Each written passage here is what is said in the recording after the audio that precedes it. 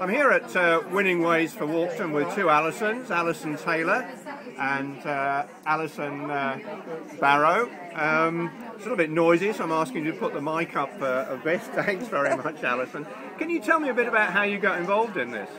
Yeah, basically, I was asked by Linda to come along to the first meeting, which I did, um, and I was really enthusiastic about what they were talking about there. So I've, I've just been coming to all the meetings since. Um, so, what's been your experience? What stories have you been telling? Um, I haven't really been telling any stories. I've been sort of collecting stories from people, um, just basically general public, and people that have never ever smoked, um, and just been getting stories from them.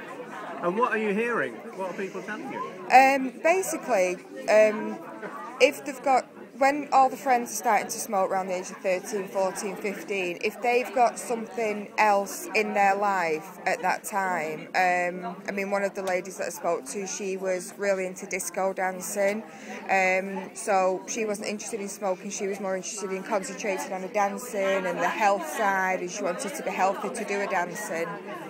So I think if some if they've got a different focus, I guess, I guess everybody's story is different. Yeah, everybody's different. Yeah. Yeah. What about the lads? What, what are you getting? I didn't actually interview any men. it was just the ladies that I did. Okay. I didn't. I couldn't find any men that had never smoked. So. That's interesting. In yeah. Itself, yeah. Right. Can I turn across to uh, Alison here and just pass? Can you just pass the mic across? So. Thanks very much. And um, so, tell me a bit about your work, then, Alison. Okay, well, I'm a, a, local community health trainer, and what I do is I work one to one with people in the community who want to make a positive change in their lives.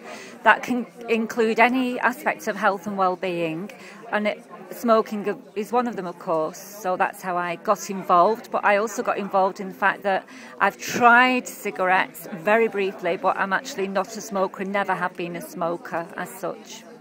And is this a different kind of approach than you've come across before? Very different, yes. The, normally, the concentration is on getting people to stop and looking at the reasons why they're finding it difficult to stop uh, and putting support in place to help them. Uh, but this approach of actually looking at why people don't start, start in the first place is, is quite fresh and, and new.